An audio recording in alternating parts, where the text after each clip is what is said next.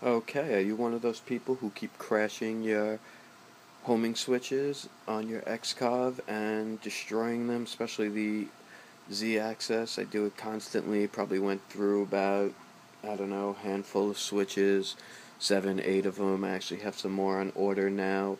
Um, but while I was doing that, I came up with a workaround to make these homing switches into limit switches on the X-Carve. Um, there was always a way around it from what I heard of using shielded cable. But there's only one issue with that.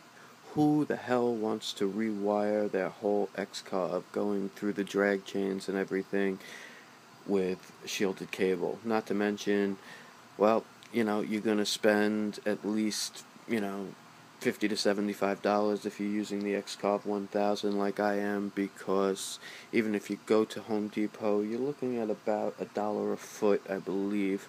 Maybe a little less I don't know. Anyway I made up three little circuit boards which I'm actually going to turn into one circuit board that you hook your wire switches that currently go into the Grbl um, to the G Shield you currently hook them into the small screws on the circuit board I made and then you connect other wires, any spare wire you have around, uh, small tiny piece will do. Um, they go into your board as well as um, it also plugs into your 5 volt in your Arduino as well as your ground in your Arduino.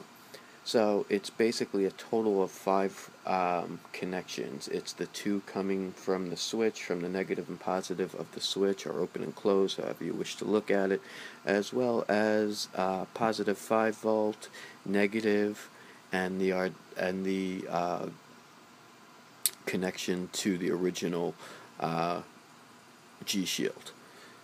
I'll put a diagram up if that's a little tough to follow, but I wanted to show you how it works. It basically uses the hard limits, and thanks to the circuit, which is basically a nice low-pass filter, there is no more crashing.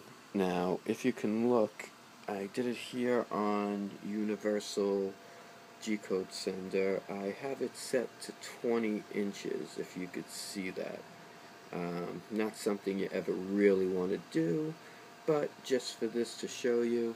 Okay, so there's the y-axis, there is the corner. Sorry, I'm on my little iPhone 4S here, which probably has the worst video in the world. Um, time to upgrade my phone, and no. In any case, um, so you could see it here. We're just going to press go and see what happens. Normally it would smack right into the front um, rail, but here we go. No fear, stops right there. Now you could see on the screen here, where is it? So your hard limit has been enabled, and all you're going to do from there is, um, I'm sorry, you press soft reset, which is right up top there to reset out of the alarm, and then whenever you have an alarm, meaning, you know, obviously something went wrong, um, the machine would no longer know where it was, so you want to home it again.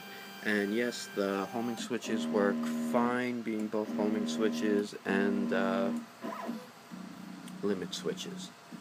So once you're back and once you get homed, which it's currently doing right now, now it's homed, you now have, we're going to go, we're going to bring this down away from the, go to one inch so we don't start smacking it again.